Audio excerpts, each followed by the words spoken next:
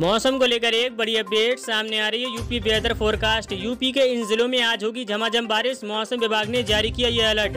दोस्तों, हम आपको इस वीडियो में फुल डिटेल के साथ समझाएँगे कि मौसम विभाग ने क्या अलर्ट किया है और यूपी में आज और कल मौसम कैसा रहेगा। पूरी जानकारी हम आपको इस वीडियो में देंगे। उससे पहले आपसे रिक्वेस्ट है, वीडियो को शुरू से लेकर लास्ट तक ज़रूर देखें और रोज डेली मौसम विभाग की ताज़ा जानकारी से सबसे पहले अपडेट रहने के लिए हमारे यूट्यूब चैनल को सब्सक्राइब ज़रूर करें। ये दोस्तों, आपको बता दें भीषण गर्मी का कहर झेल रहे उत्तर भारत के कुछ राज्यों में मौसम बदलने लगा है। यूपी के कई ज़िले हैं जिसके लिए मौसम विभाग ने राहत भरी जानकारी दी है। आईएमडी के आईएमडी ने यूपी के कई जिलों के लिए बारिश का अलर्ट जारी किया है। बहराज बस्ती आदि जिलों में आज और आने वाले दिनों में झमाझम बारिश होने के आसार जताए गए हैं। हालाँकि प्रदेश की राजधानी लखनऊ में बारिश का कोई अलर्ट नहीं है और तेज धूप निकलेगी।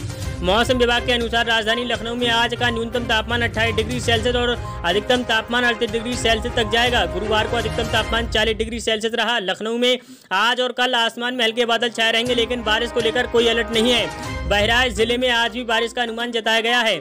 आज ज़िले में तेज बारिश होगी न्यूनतम तापमान 28 डिग्री सेल्सियस रहेगा जबकि अधिकतम तापमान सैंतीस डिग्री तक जाएगा।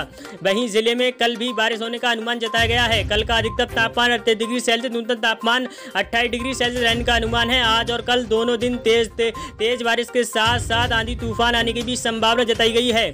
उधर बलिया ज़िले में भी आज बारिश और आंधी तूफ़ान आ सकता है। मौसम विभाग के अनुसार आज का न्यूनतम तापमान सत्ताईस डिग्री सेल्सियस रहने वाला है जबकि अधिकतम तापमान अड़तीस डिग्री सेल्सियस रहेगा। कल आसमान में बादल छाए रहेंगे। बस्ती की बात करें तो आज बारिश की भविष्यवाणी की गई है।